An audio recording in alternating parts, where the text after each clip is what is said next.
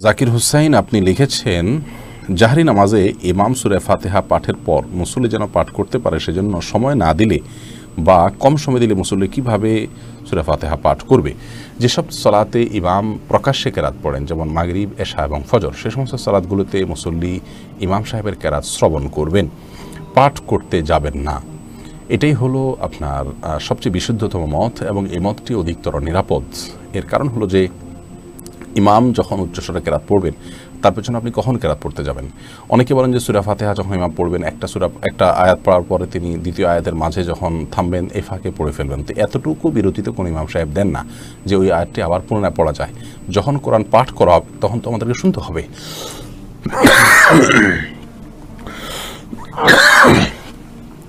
Sorry আল্লাহ তালা বলেছেন ওইদা কুরিয়াল কোরআন ফাস্টিম আল্লাহু আনসিদুর আল্লাকুম তুর হামুন যখন কোরআন পাঠ করা হয়, তেলাওয়াত করা হয়, তখন তোমরা শুনবে এবং মনোযোগ দিয়ে শুনবে এবং চুপ থাকবে। তাহলে আল্লাহ চুপও থাকতে বলছেন, আবার শুনতেও বলেছেন। তাহলে উচ্চস্বরে যখন ইমাম সাহেব রাত পড়ছেন, আপনি শুনতে পাচ্ছেন, তাহলে আপনাকে শুনতে হবে মনোযোগ দিয়ে এবং আবার আপনি কিছু পড়তেও পারবেন না। যখন থামবে, পরবর্তী আয়াতের মাঝে, এখানে তো অল্প সময়ের জন্য থামেন যে এর মধ্যেও একটি পড়ে শেষ করা যায় না।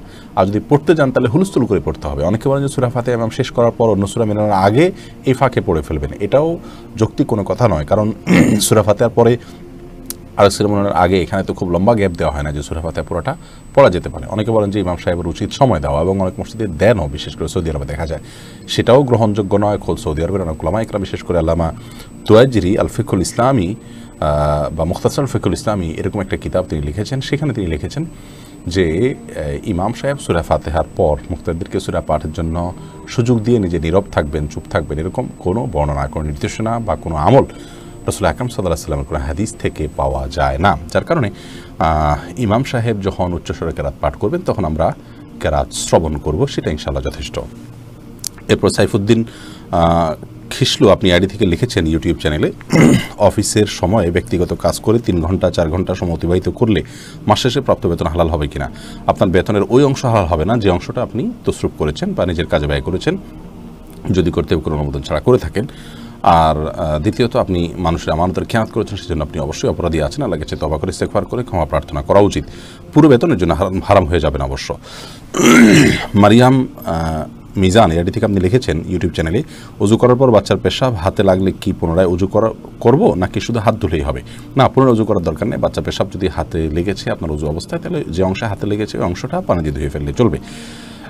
এরপরে কাউসার জিহাদ আপনি আমাদের ইউটিউব চ্যানেলে এই লাইভ সম্প্রচারিত হচ্ছে, সেখান থেকে প্রশ্ন করেছেন, আমার ছ বছর বয়সে আমার মা আমাকে ছেড়ে চলে গেছেন, এখন আমার বয়স সতেরো বছর।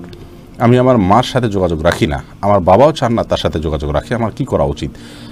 আপনার বাবার, আপনার মায়ের সাথে আপনার যোগাযোগ করা উচিত। তিনি ছ বছর রেখে গেছেন, অন্যায় করেছেন আপনার প্রতি অবিচার করেছেন, কিন্তু তিনি মা আপনাকে গর্বে ধারণ করেছেন, জন্ম দিয়েছেন, সেজন্য আপনার উচিত হবে তার সাথে যোগাযোগ করে আপনার সাধ্য অনুযায়ী তার সাথে আপনার যে কর্তব্যগুলো আছে মায়ের প্রতি সেগুলো পূরণ করার চেষ্টা করে। আপনার বাবা এক্ষেত্রে নিষেধ করলে সেটা তিনি সঠিক করছেন না। হ্যাঁ তিনি হয়তো ওই মানের জায়গা থেকে করছেন যে এতে তিনি ছয় বছর বয়সে আপনাকে ফেলে রেখে চলে গেছে। তিনি অন্যায় করেছেন, তাই বলে আপনি তাকে শাস্তি দিতে পারেন না, অ্যাজ এ সন্তান।